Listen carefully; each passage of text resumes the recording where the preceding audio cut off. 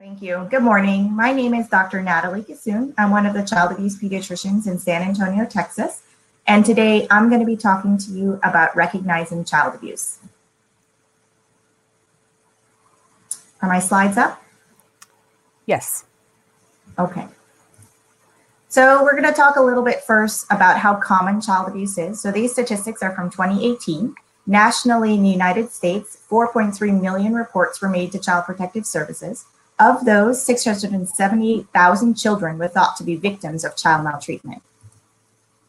The most common form of child maltreatment is neglect, followed by physical abuse, sexual abuse, and then other types, such as being threatened abuse by a parent or caregiver, parents' drug and alcohol abuse, or safe relinquishment of a newborn.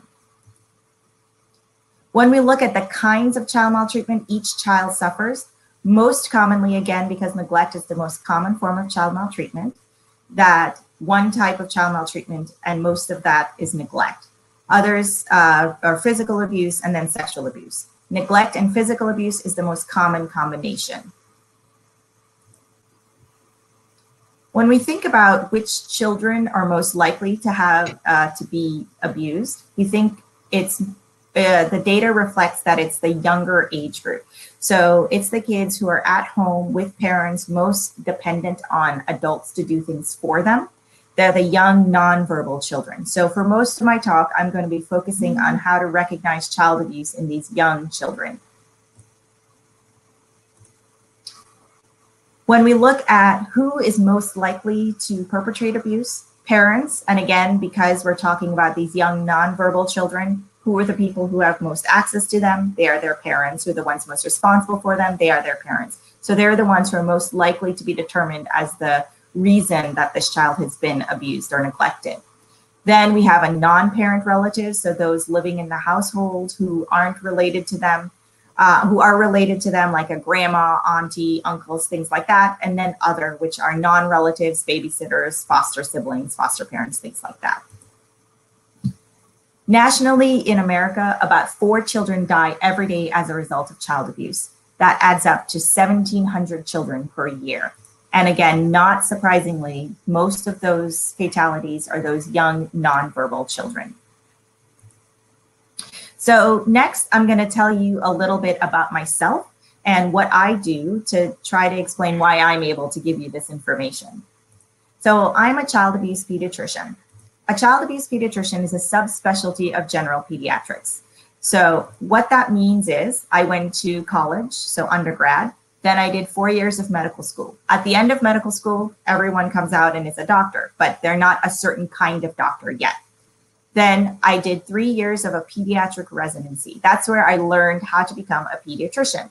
After you finish residency, anyone can go out and practice being a pediatrician. So that's where you take your children for well child checks or for sick care visits. But I didn't want to do that. So I decided to focus on child abuse. So after my residency, I did additional three years of training called fellowship, where every day, all day for three years, the only children that I evaluated were those kids where there was a concern for abuse or neglect. So during those three years, I did complete medical evaluations for any child when there was a concern for abuse. That means looking at taking a full history, just like they do at the regular doctor's office, doing a full physical exam, head to toe, looking at all of the skin, all of the body parts, just like they do at the regular doctor's office, looking at lab work, ordering lab work, looking at x rays, and then at the end of all of that, looking at all of that information and trying to determine whether the situation or the injury that this child has is due to child abuse or a medical problem or an accident or something else that we need to find out. I work really closely with Child Protective Services and law enforcement. And when I write my note, I realize that what I write down is most likely going to be read by other non medical professionals such as lawyers, such as social workers, child protective services, law enforcement, attorneys, right? So I write it in such a way where there's uh, it's people are able to understand it if you're not in the medical field. I also go to court and testify as an expert witness in civil and criminal cases. And so that's in general what a child abuse pediatrician does. So now we're going to move on and we're going to talk a little bit about the different kinds of abuse. So the first thing, I'm sorry, first thing we're going to talk about is mandated reporting and what that means. Now, every state in the US has mandated reporting. The laws regarding it is a little different. Uh, every country also has some form of mandated reporting. Uh, most countries in the world do. I'm not sure, I don't know the rules for those. So I'm just going to talk about mandated reporting in general in the United States and a little bit more specifically for Texas. So the reason the United States has mandated reporting is because of something called the Child Abuse Prevention and Treatment Act, or CAPTA. So this was originally passed in 1974. And basically, what it says is that all of the states need to come up with some way to gather reports and investigate any concerns for child maltreatment. And this was passed first in 1974. And subsequently, every time it's come up to say, do we still want to do this? The government has said, yes, we're going to continue to do this because we know it's in the best interest of children.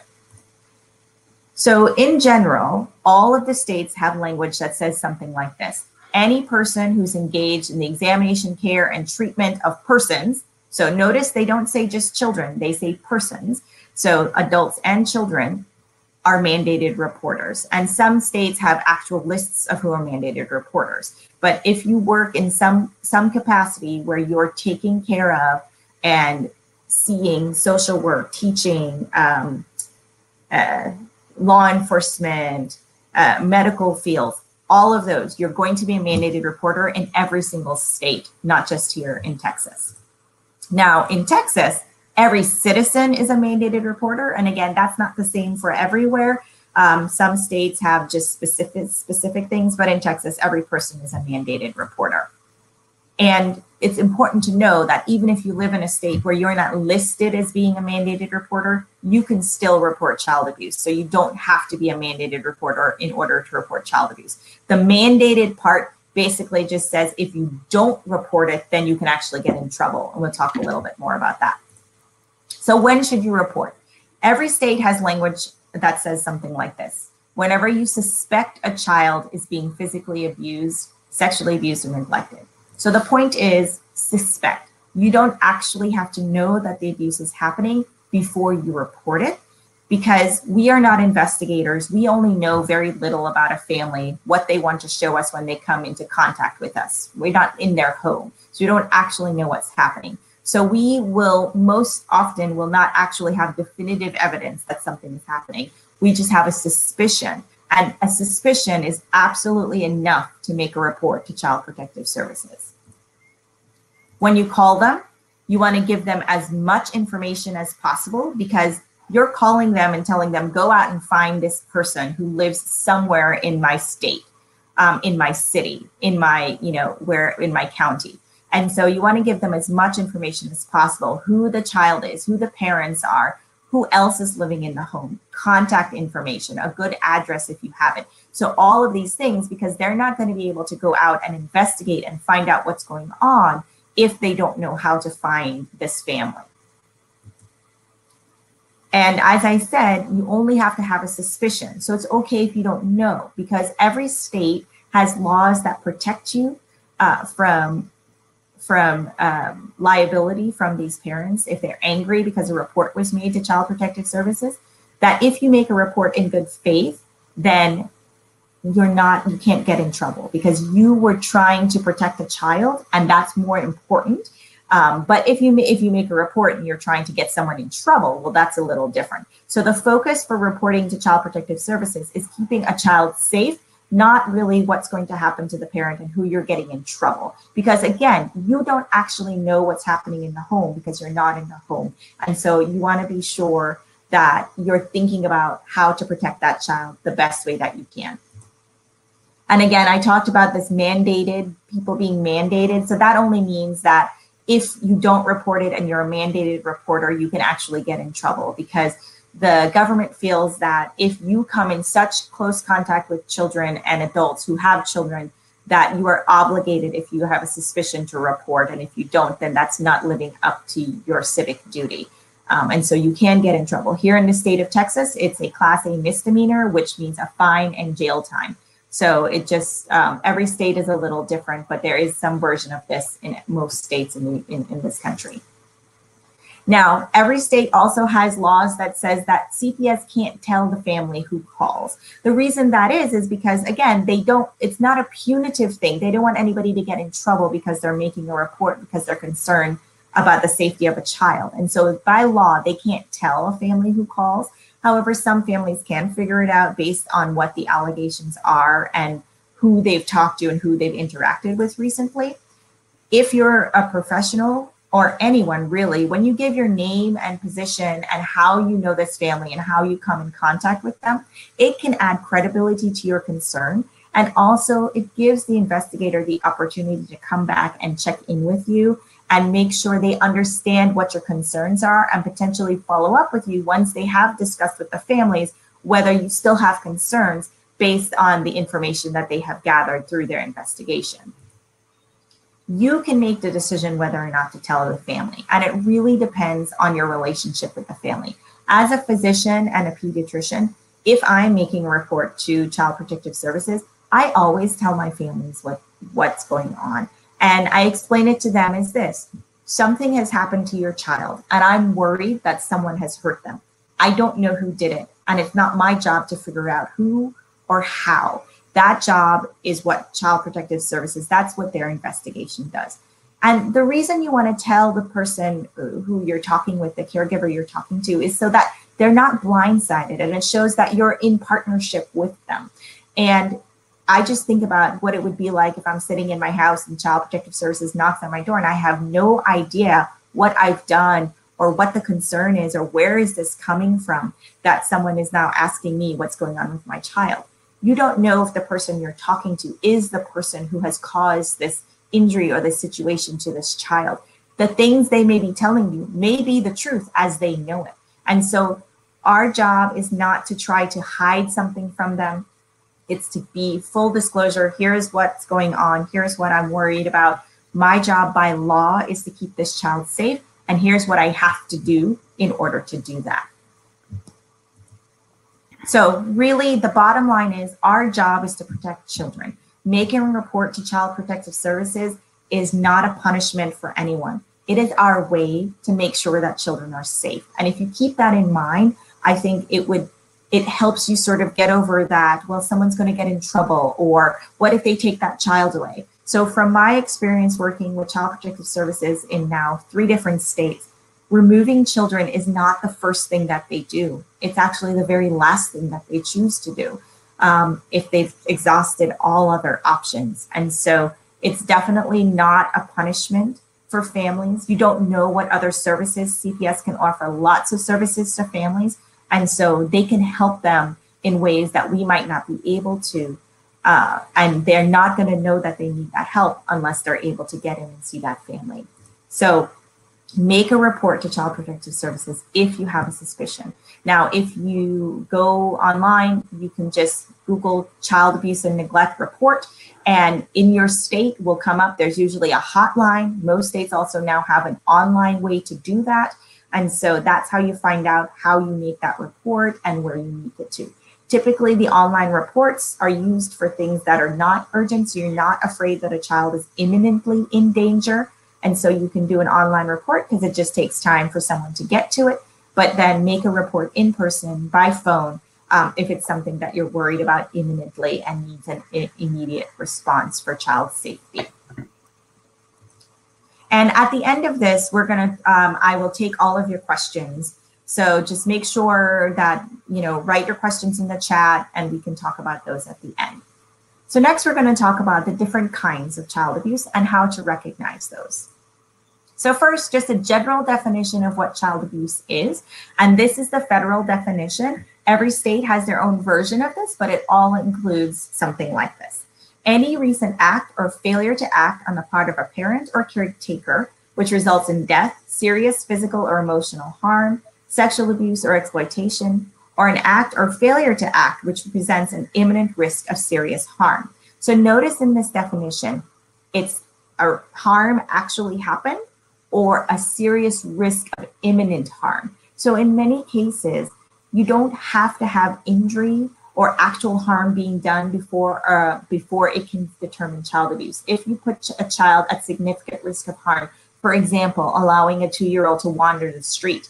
Even if the two year old did not, wasn't injured during that incident, the risk of harm was so high that that is still considered neglect and will still be substantiated by child protective services. So first we're going to talk about physical abuse. So physical abuse is any non-accidental or inflicted injury. So this includes cutaneous, so things on the skin like bruises, burns, bites, lacerations, so cuts, those things. It also includes broken bones like fractures. It also includes things like head injuries or abdominal injuries, or any physical injuries that can happen to a child. And when we think of physical abuse from the medical standpoint, we don't think about whether someone intended to hurt their child. And and I think from the standpoint of someone who's suspicious of physical abuse, our job is not to think of whether someone intended to. That's something that CPS and law enforcement, investigative services, that's their job is to figure out. And then they can look at the laws, the family code and the criminal code and determine whether intent and, and what needs to happen there. Our job, again, is to think about what's best for this child and the safety of this child. So if an adult caused an injury to a child, that could be concerning for physical abuse. And then once the investigation happens, then they can determine whether that's something that reaches the level that they can say, yep, definitively this is physical abuse or not. So, when should you have a suspicion of physical abuse? So, here are some things that we're going to talk about. We're going to talk about where the injury is and that there are parts of the body that kids don't typically get injured during accidental things. We're going to talk about patterned injuries and the fact that kids don't typically get injured in a pattern during accidents. We're going to talk about the age and development of a child. So, thinking about what kids can and cannot do and what kinds of injuries that leads to. And then we're going to talk about the history. So, what do we know about the injury that this child has? So, first, I told you that there are certain locations on the body that lots of kids get injured. So, those places aren't concerning for physical abuse. And then there are places on the bodies where kids don't typically get injured. So the way that we know this is by experience, of course, so seeing lots and lots of children and seeing where they typically get injured. But we've actually done research looking at this. So looking at thousands of children going to their pediatrician's office just for a checkup. So no reason they're not coming in because they have an injury. And then we wrote down, researchers wrote down where on their bodies they have injuries. And the places that we consider to be very concerning are the places where less than 2% of children, just all children, all ages, coming to the pediatrician's office get injured or had injuries. And so these are places that we know are less likely to happen during accidental ways. So these are the places that kids, when we see them, we don't, we're not concerned for abuse because kids get injured here all the time. So when we think about children, you think about how they explore their world, right? They're full force going forward. When they fall, they fall forward. The places that I'm ta- that I have listed up here are the places where the skin and the bone are really close together. And so the way that you get an injury is when you crush your skin against a bony surface. And so we have the forehead, right? Lots of kids get goose eggs from falling all the time. Their nose that gets hit, their chin, their elbows, forearms their hip bones there, their knees and their shins. So those are places when kids are running around and playing on a playground, having a good time. They get bruises there all the time. And when I see those, it doesn't make me concerned that abuse is happening. However, these places on this list, when I see these, I'm really concerned about abuse because these aren't places that typically children will hurt themselves when they're when they're just having normal routine play and activity. So we think about their chest so kids at about 15 months of age start putting their hands out to protect themselves when they fall. So they're less likely to impact their chest when they fall down. Their back. So kids tend to, if they fall backwards, they sit on their bottom. Um, again, they put their hands out to protect themselves. So they're less likely to impact their back.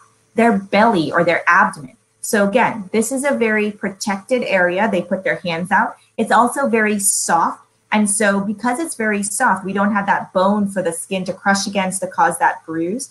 It takes a lot more force and energy to cause a bruise there, and a lot more force than you typically see from normal routine accidents that happen with kids who are just playing. The genitals and the buttocks, again, very well protected. Now, when we think about those young nonverbal kids who are wearing diapers, their genitals or buttocks even more well protected. And so they're less likely to get injured there because that's just not where they impact. I talked about kids when they fall down backwards, they fall on their buttocks a lot. Again, those young nonverbal kids, they have clothing on, they have diapers on, not going to get injured. The buttocks is a soft, cushy place. Again, it takes a lot of force to cause that. We see lots and lots of kids who fall down all the time on their butt on the playgrounds, jumping from swings, landing on their butt, no bruises at all. So it takes a lot of force to cause an injury there. Now, I'm just going to step out a little bit from this very concerning location to talk about buttock bruising. So, in the United States, corporal punishment is legal, and that is, you know, hitting a child as a form of discipline. However, in most states, if you leave an injury, that's considered physical abuse. The reason is we know that the amount of force it causes to take to cause a bruise is excessive physical discipline and is outside the realm of what can be considered normal corporal punishment. Now, as a pediatrician, I have to say that pediatricians have recommended no corporal punishment at all. The reason that we do that is because we know that corporal punishment does not actually change behaviors and it actually causes more harm than good. So we have done over 700 studies looking at corporal punishment, trying to find whether or not this is this can be helpful for children. Not one study has found a positive impact on children as a result of corporal punishment. Every single study has found negative effects. What it does is it causes fear in children. It damages the parent-child relationship. And so parents, children are afraid to tell their parents things, even things that they should tell their parents because they're worried that they're going to get hit and hurt. It causes aggression in children because of modeling. So children who see that the way that you solve a problem, if someone does something inappropriate, that you hit them, that's how they will uh, engage with their world also because children learn by watching us and seeing what we do and so um, it also causes anxiety it also causes depression when we look at adults uh, correlation with corporal punishment with substance and alcohol abuse and so corporal punishment in general is not recommended by a pediatrician and even though it is legal here in the united states again if it is something that is used and leaves an injury then that is concerning for physical abuse because that's excessive corporal punishment.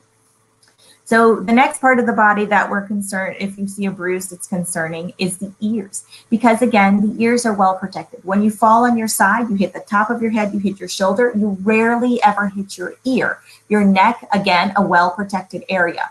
In your mouth, so kids don't typically get injuries in their mouth, especially the young, non-mobile babies who aren't moving very much, they can't put their finger in their mouth and cause an injury. And so this is from forceful insertion of an object, a pacifier, a bottle, a spoon, a toy.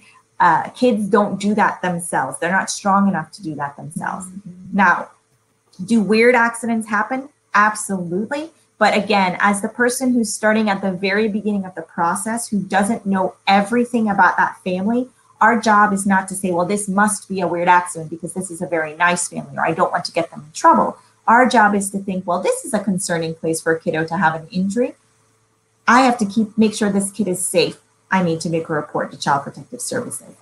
Other place is the angle of the jaw, so right along the sides. Your cheeks are soft and cushy. There's not a lot of bone right there in the middle of your cheeks, so it takes a lot more force to cause an injury there. They're also a well protected area. Your eyelids, and subconjunctival hemorrhages, so your eyes in general. I'm talking about bleeding on the white parts of your eyes. That's what subconjunctival hemorrhages mean.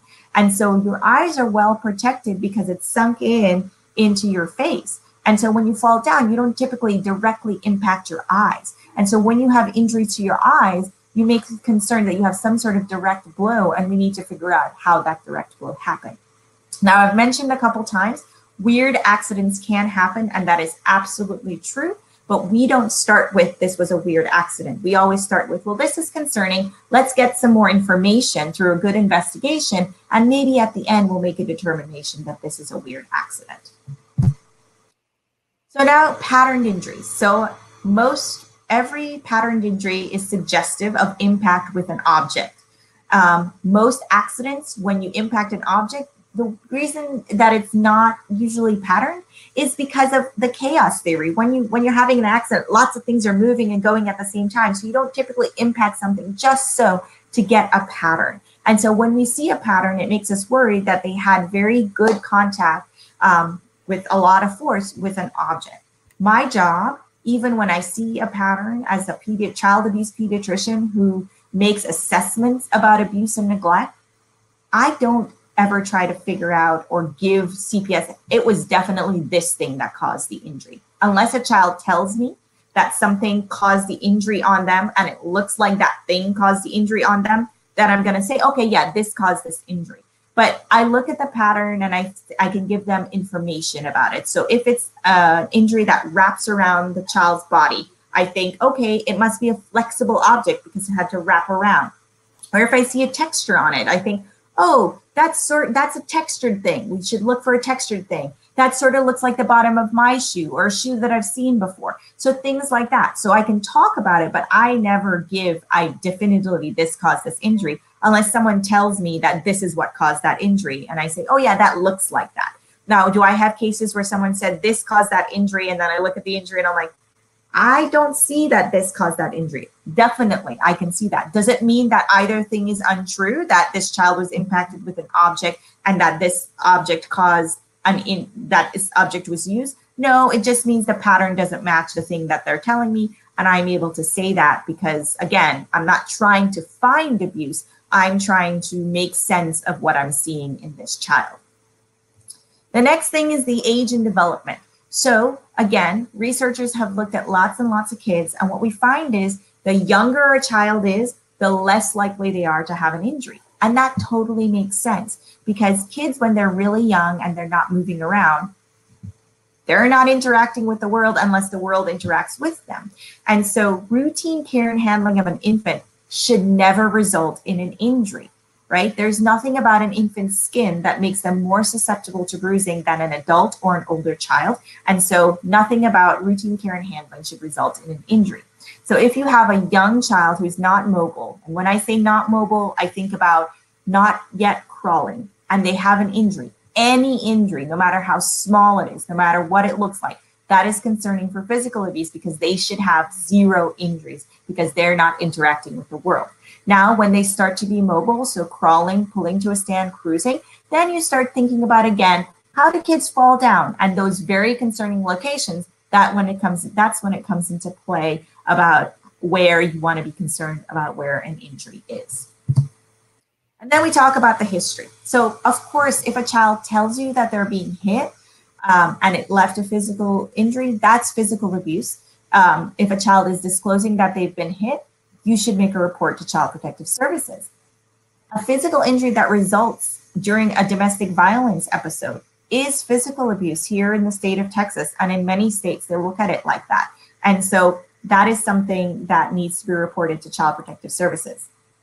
And of course, we know that there are lots of reasons that kids don't tell about what's going on with them at home. And we're going to talk a little bit more about what those reasons are. And so it's okay if you ask a child, what happened and they tell you something or they don't tell you, that doesn't necessarily mean that it's abuse. It just means that they're not ready to tell you or that they're afraid to tell you something. If it's in a concerning location, if it's an immobile child, if it's a pattern injury, those are reasons that you should make a report to Child Protective Services so that we can get more information and try to figure out what's going on and make sure that that child is actually safe. So getting the history. It's okay to ask a kid about it. Um, if you can, don't ask with the parents present in case they're the person who, the people who caused the injury. You don't want to ask leading questions. So, what I mean by leading questions is don't say, well, your mom hit you, right?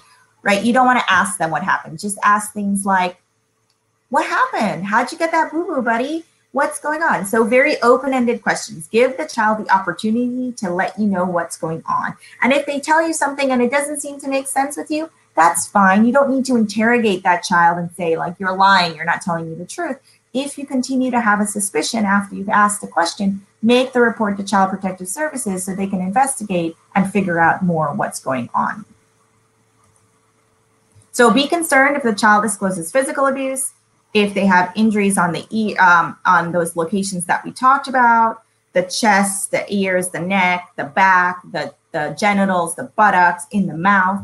Um, any infant with a bruise is concerning for abuse. If they have a patterned injury, that's concerning. And of course, if they tell you that something bad is happening to them.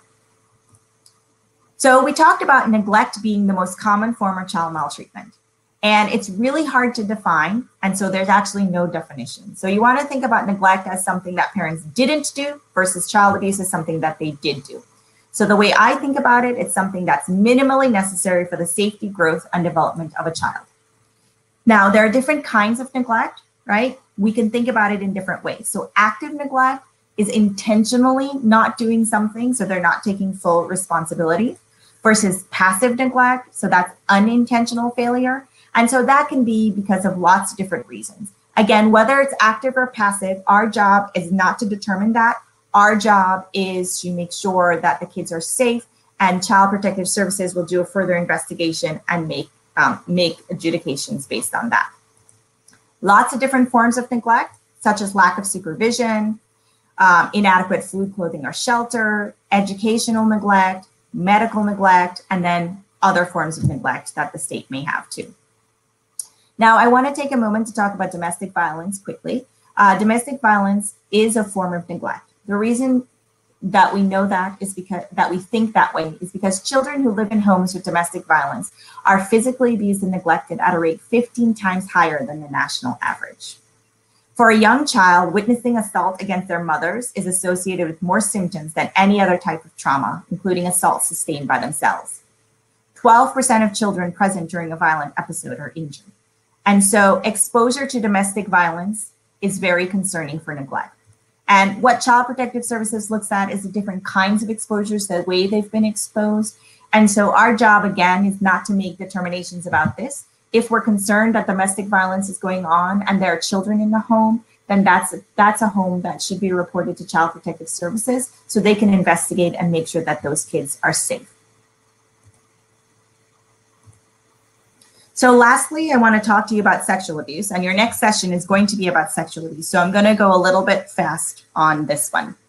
So this is the uh, federal definition of sexual abuse. And again, every state has their version of this. It's the employment, use, persuasion, inducement, enticement, or coercion of any child to engage in or assist any other person to engage in any sexually explicit conduct or simulation of such conduct for the purpose of producing a visual depiction uh, the rape, and in cases of caretaker, interfamilial relationships, statutory rape, molestation, prostitution, or other forms of sexual exploitation of children or incest with children. So, lifetime prevalence of unwanted sexual experience for girls is about 25%. For boys, it's about 10%. Girls are more likely to abuse than boys, but we think that that number is a little bit skewed because girls are more likely to report sexual abuse than boys are. And girls are more likely to be sexually assaulted during their teen years than any other time. Risk factors for sexual abuse. Sexual abuse is not like physical abuse where we think it happens in lower socioeconomic status more commonly or neglect. Sexual abuse can really happen in all socioeconomic classes and ethnic groups. Some things that increase the risk are disabilities in the children, children who are pre-verbal, and of course having a very chaotic household with multiple caregivers present. So, some things about sexual abuse that people think but aren't true that the perpetrators are strangers. In reality, most perpetrators of sexual abuse are known to the child and known to the family. Perpetrators who sexually abuse boys don't sexually abuse girls. Most perpetrators are not specific to anything, they're situational. So, if a situation arises that they can do something, then they do it. So, it doesn't matter whether it's a boy or a girl. Children will tell you what's going on immediately. That's not true, and we're going to talk about why not. Children tell fantasies. So we know that children don't typically make up fantasies about sexual abuse, and that's done based on years of research looking at how kids fantasize. And when kids fantasize, they fantasize about things that are good for them, that make them the hero. And sexual abuse does not make children the hero. So they don't fantasize about sexual abuse. Also, children can't fantasize about something that they haven't had experience with. And so they've either been exposed to something inappropriate or something inappropriate has happened to them as a result for them to give you a disclosure of sexual abuse. And then any child victim with penetration will have an abnormal exam. And that's not true. We're going to talk about that too. So every child has sexual behaviors. It's along the spectrum of normal behaviors. There are some sexual behaviors that are normal and some that are abnormal. So this researcher looked at sexual behaviors and described them in normal children. And this is a graph that he made looking at boys and girls and the amount, the frequency of sexual behaviors they have. And what he found was both boys and girls have the same frequency, same amount of sexual behaviors, and that at about between somewhere three to five, there's this big peak and then it starts to go down. And he stopped looking at 12. But we know in adolescence, those sexual behaviors increases because of going through puberty. So the key to get from this is that both boys and girls have sexual behaviors and that it is very common. And we have a big peak in that three to five year range. Now, normal sexual behaviors in kids can be influenced by their surroundings. So, how old they are, who do they live with, what happens, how do they talk about sexuality in their homes? Do people walk around naked and it isn't a big deal in their house? All of this will influence what's a normal sexual behavior for a child. The most frequent normal sexual behaviors are self stimulation, exhibition, exhibitionism, and behaviors related to personal boundaries. So, those are the kids who get too close, they're close talkers, or they touch people in you know touch breasts or buttocks when they when it seems inappropriate. Again they just have problems with boundaries and those can be very normal especially in those young kids because they haven't learned what those are yet. Self stimulation so masturbation very common behavior not abnormal does not mean sexual abuse. It means it feels good and the kids are self stimulating we tend to see it a lot when kids are falling asleep when they're tired when they're stressed out.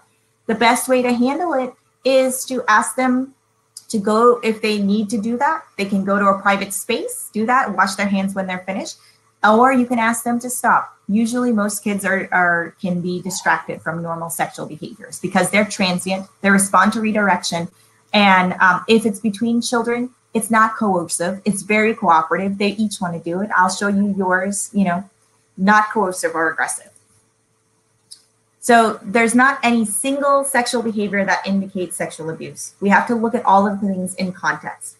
Um, abnormal sexual behaviors can also be just a part of other behavioral problems. So what makes you concerned? If it represents a sudden change in behavior, if it's persistent, if it's aggressive, and if it's imitative of adult sexual behaviors. So the way we find out about sexual abuse in my field most of the time is that the child tells. However, it takes about two years for a child to tell. Someone witnesses the abuse is very rare. The perpetrator confesses again, very rare. And then the kids actually have symptoms or injuries. Those again are very, very rare. So a kid telling is the most important thing. So of course, if a kid tells you, or if they're having abnormal sexual behaviors, you should suspect sexual abuse. Now, when someone tells you about sexual abuse, you may feel completely overwhelmed. And so, a couple things I want to tell you about. Most cases, the physical exam findings is completely normal. Reason is that most abuse may not involve something that causes an injury. Also, that part of the body is made to stretch and accommodate, so it might not get injured. It also heals really quickly. So even if it gets injured, it healed before I can see them because again, kids take on average two years to tell what's going on. So it looks completely normal. And so the reason that I do a medical evaluation is not so much so that I can find evidence that this happened, is because I can find out what's really going on the, with that child. My job is to be a trusted and neutral party. I look for injuries. I look for sexually transmitted infections. I look for pregnancy. I make referrals to other medical professionals, psychological referrals. And I reassure them that even though this bad thing happened to them, their body is healthy and normal. And nobody would know something happens to them without by looking at them because I can't tell by looking. And I'm and I'm looking to see if something happened to you. So reassuring the child and their family that their bodies are healthy and normal. So the absence of physical findings does not rule out the possibilities of sexual abuse. So what do you do if a child discloses to you? Believe them, listen to them, Tell them they did the right thing by telling you. Do not interview them. Don't ask all the questions you're so you want to find out because we all want to find out so that we can do the best and help we can. Don't do that. That's what child protective services and law enforcement is for. Document what they're saying. Document the context of their disclosure. Did you ask them a question or did they just come up and tell you? Report it to child protective services to law enforcement. Reasons kids don't tell is because when they're really young, they might not know what's happening to them is bad. They might have been threatened. They might have been said, told this is a secret. They feel trapped and helpless. They don't, they fear that people aren't going to believe them. They feel responsible. Children at that age, at a young age, everything is their fault. And so they feel like it's their fault. They want to protect their family. Even the offending person, they want to protect because they love them because they're their family. So sexual behaviors do not necessarily mean child abuse, but they can. So you have to look at the context of it. Disclosure is the most important part of a sexual abuse evaluation. And if a child discloses to you, control your emotions and make the necessary reports. The last thing I want to leave you with, and this is something you're going to talk about a lot in your next session, is how to protect children from sexual abuse. One thing we can do as a general is use appropriate language. So use the right names for all the body parts to make sure that kids know how to talk to you about their bodies. Don't tell them they're not allowed to say those words. Don't make it bathroom words give them the opportunity to talk to you about anything they want to talk to you about about their own bodies in this time and space they feel comfortable telling you about it don't force affection so hugs and kisses especially here in south texas that's just part of our culture However, when you force someone to hug someone that makes them uncomfortable or kiss someone that makes them uncomfortable, you take away their autonomy and you let children know that it's okay sometimes to let people do uncomfortable things to their bodies. So suggest instead that they can give high fives or handshakes or waves from afar. Give them that autonomy for their body so that they don't feel like they have to do something uncomfortable. It doesn't give them the idea that adults can do things that they don't want them to do explain what safe and unsafe touches are, and make sure you control their media exposure. Children today have lots of things they can see and hear, and if they're exposed to sexually explicit material, they will play in a sexually explicit way. And so we want to make sure we don't do that. All right, that's the end. I know I went a little bit over. I'm sorry. Um, let me see what questions there are.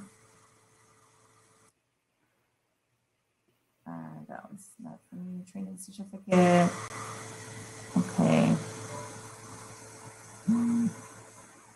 Okay. Um, a question, my sister was told that she will get a visit from CPS because my niece is not eating well. She's 16. My sister is all scared why the doctor is telling her that she has pancreatitis and she eats just that sometimes she won't want to.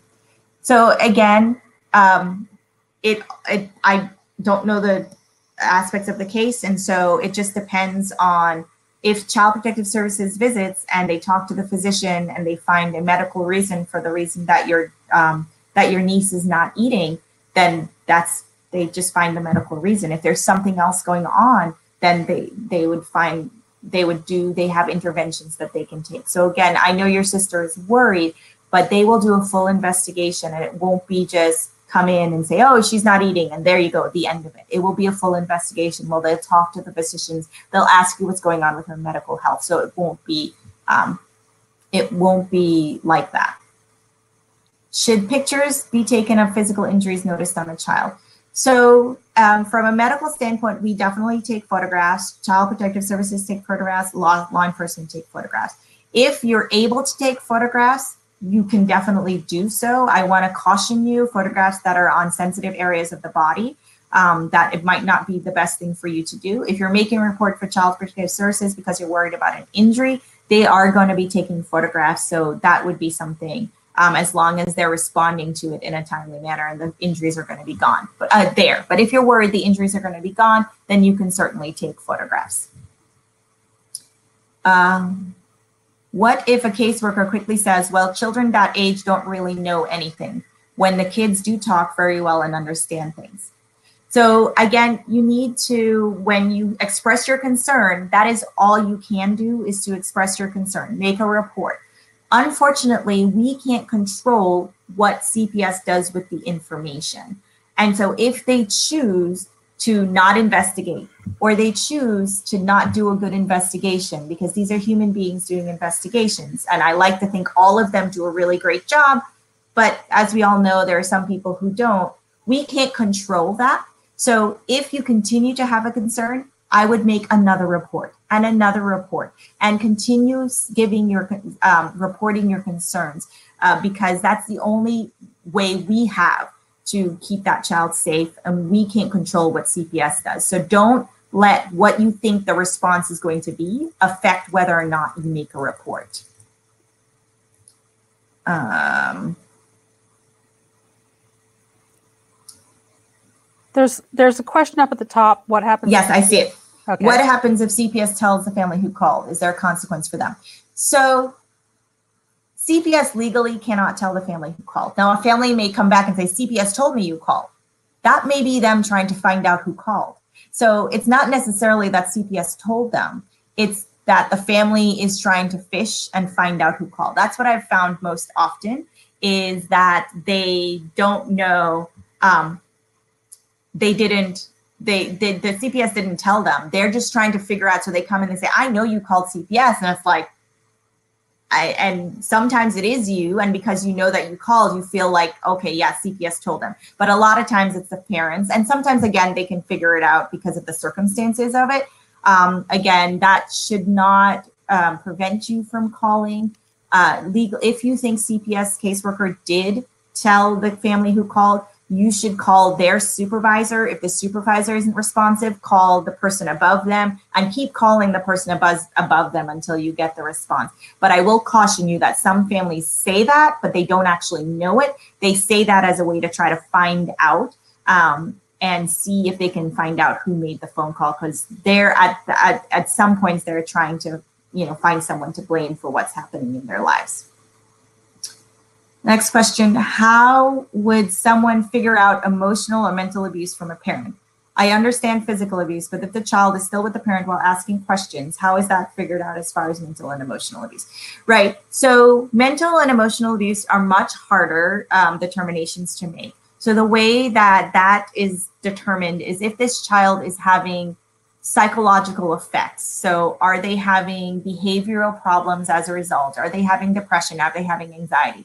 And so, again, at the very beginning, it's very difficult for like me, I'm not a, a psychologist, to a psychiatrist to figure that out. And so, I would say that if the child is telling me things that is concerning for the way that a parent is talking with them, and they they they tell me that they feel like their parents don't love them or they feel worthless or things like that. I would report to CPS and say, I'm concerned about emotional abuse. And then, as part of their investigation, CPS is going to, CPS talks to the child alone, to the parent alone. They talk to other people in the child's sphere to see how the behaviors are. Um, they might get a psychological evaluation for the child. So, those are ways that they determine that. So, if you are concerned about it, absolutely make a report with the reasons that you're concerned about it, um, knowing that it's definitely harder to show but if you're concerned about emotional abuse, chances are there's lots of other things going on in the home, and CPS investigation is probably um, would be helpful to that family. How does CPS justify using testimony of a three-year-old against an adult? Even open-ended may want to tell you what you want to hear and keep changing stories. So I'm guessing that means in relation to sexual abuse. So we know that children don't tell fantasies about sexual abuse. So if a three-year-old is making a disclosure that is concerning for sexual abuse, that warrants further investigation. Now, depending on the development of a three-year-old, we the the investigative process, there's something called a forensic interview.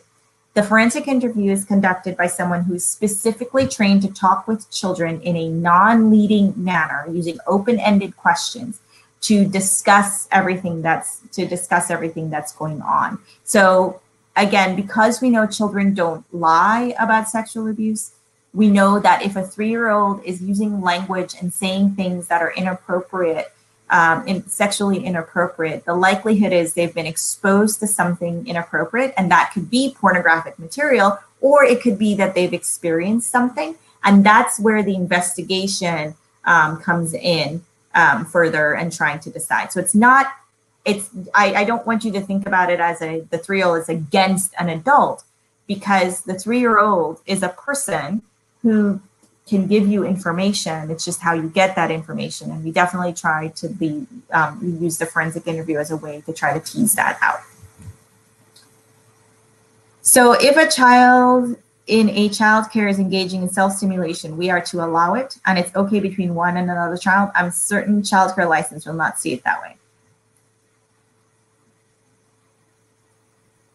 It is a normal behavior, and you don't want to.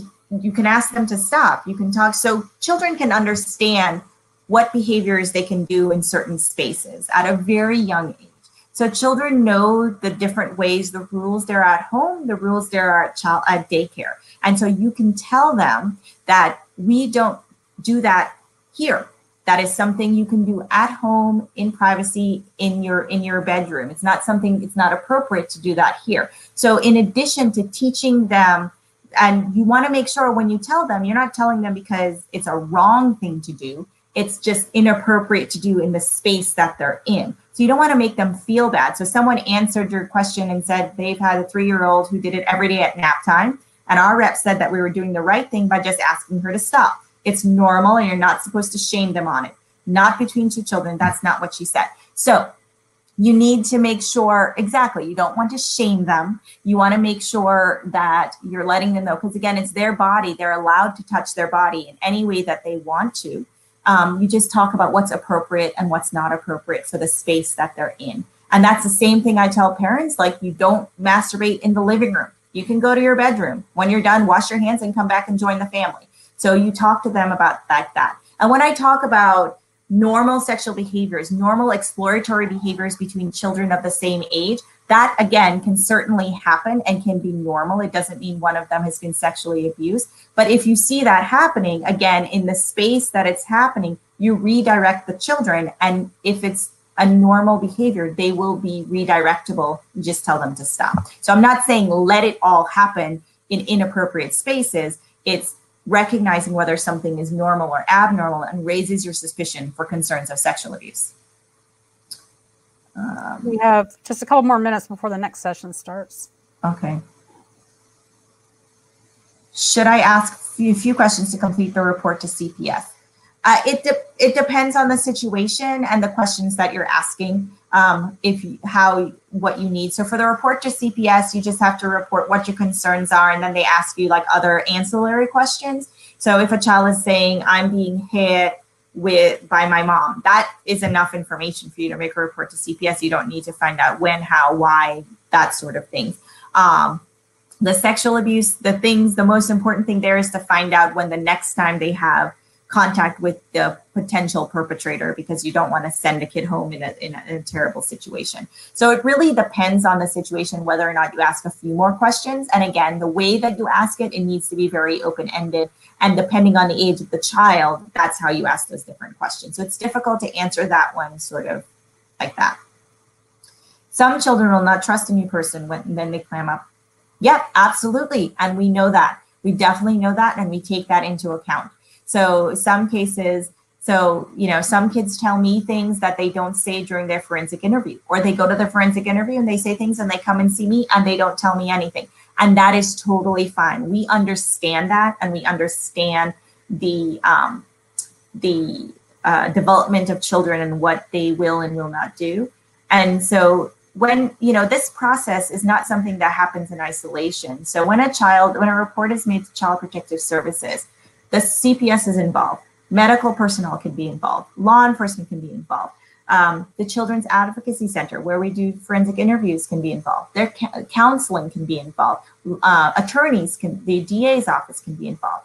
So we all meet regularly to discuss cases that we are uh, stuck or have concerns about. And so it's not just one caseworker making a decision. You have the potential for all of these community partners who work in child maltreatment to look at all these cases and give and add all of their expertise because we're all trying to do the same thing. We're all trying to protect kids in our community. And so there's lots of things that happen once that investigation starts. It's not just a, a one process, it's a very complicated process. And so we recognize all the different aspects of kids and try to do that. Okay. Given, I think we're gonna, I think we're gonna have to end. Um, okay because the next session is about to start. But you can answer okay. in the comment if you want. You can type out an okay. answer or comment. Yeah.